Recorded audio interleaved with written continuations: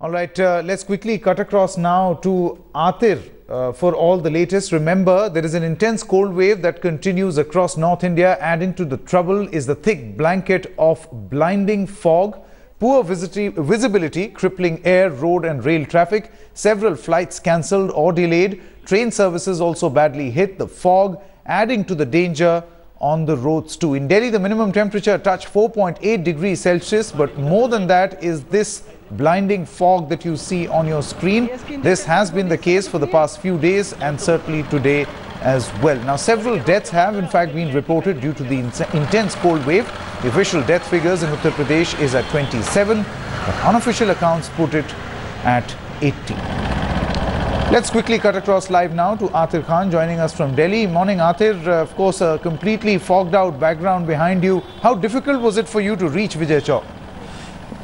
Yes, uh, good morning, uh, Sanket. Yeah, it was uh, really difficult because the visibility is pretty bad. It's around, say, 30 to 40 meters. But uh, the saving grace is that there's some wind which is sweeping the fog. Uh, but then again, uh, you see the entire North India is uh, you know, has been covered by this fog blanket, and that is why uh, it is creating a lot of problem in transportation. Flights are running late. At least two dozen flights are running late. There's a backlog of trains uh, which are running late, uh, which is creating uh, uh, a lot of congestion at the railway stations.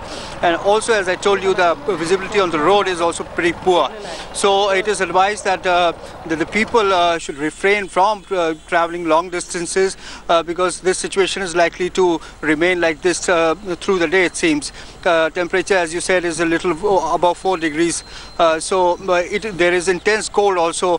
There's an advice for elderly that they should stay inside uh, because it, uh, there's also this problem of breathing, you know.